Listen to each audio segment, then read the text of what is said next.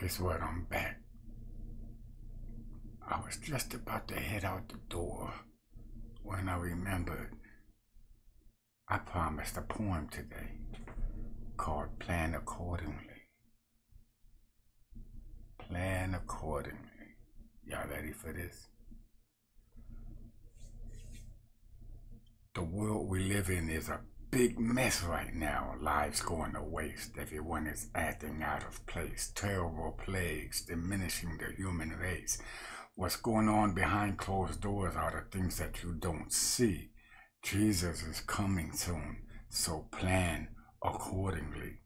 Everything that has been told to us by God is coming to pass. How long will this last? His cup runneth over. We are overcome by his wrath. We are at war with powers and principalities.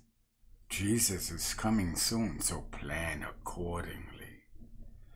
Babies being murdered, teens killing teens, the world disregarding what God told us in Revelation 17.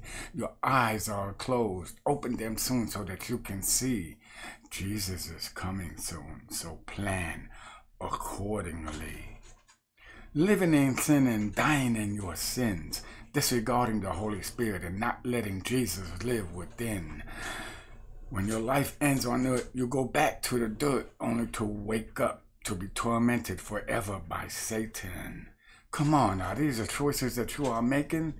Every precious minute that you waste without Jesus shall be counted against thee. Jesus is coming soon, so plan accordingly. Yeah. All right. You know, I got that fire, fire, fire.